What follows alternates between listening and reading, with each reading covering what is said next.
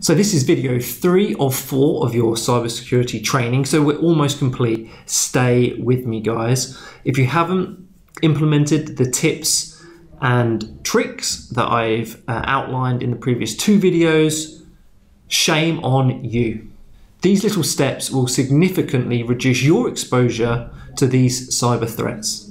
Go and revisit the emails and the videos and start to put these tips in action they're really going to help you.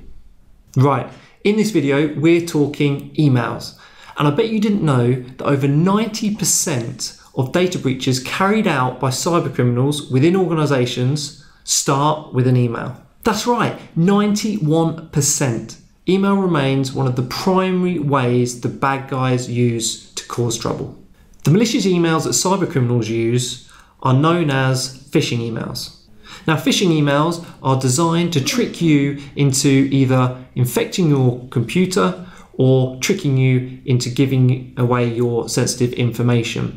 And although your IT department and their security systems and defenses do a great job in stopping a lot of these emails coming through, some slippery buggers slip through the net.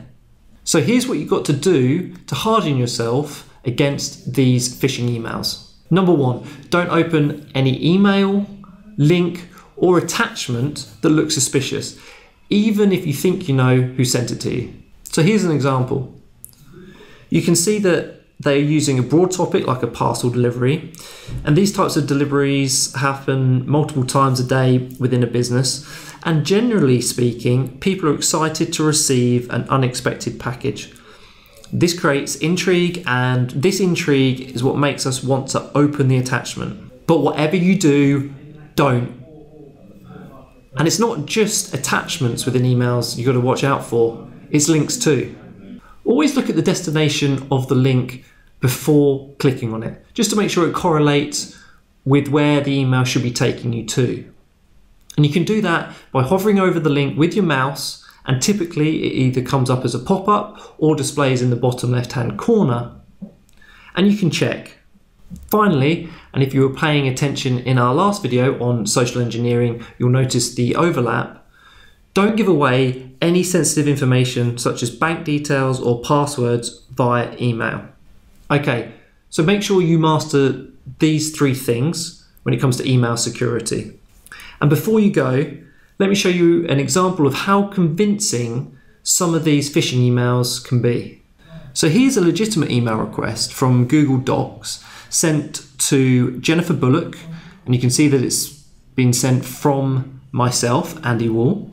And you can see the little trick I said in use. I hover over the link and it reveals where it's going. And as you can see, it's going to docs.google.com. So it's going to the right website address. So it appears to be legitimate, and indeed it is.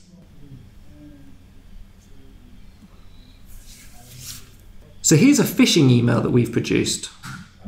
You can see it looks identical to the untrained eye. It's been sent from the exact same address as the legitimate email. It's been sent to myself from a chap called Sam Knight. Now I don't know who that is, so immediately alarm bells should be ringing.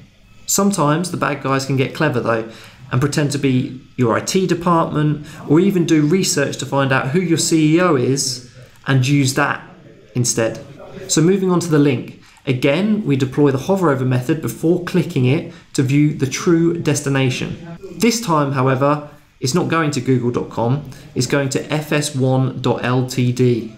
This one is actually pretty convincing. It says Google Docs.fs1.ltd. So you really have to be on your guard before just seeing Google, assuming it's genuine, and clicking on it.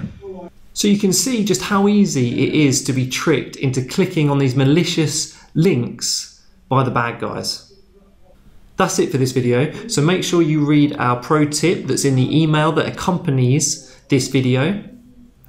And to make sure you carry on checking your links before you click on them. Until next time, stay secure.